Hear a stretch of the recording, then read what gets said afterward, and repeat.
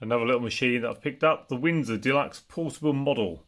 Um, it's got a number four soundbox on it and a homemade crank handle, which works, so that'll do. Right, let's play um, this Electrola record on there. Enrico Caruso. I can't read that. Um, here we go.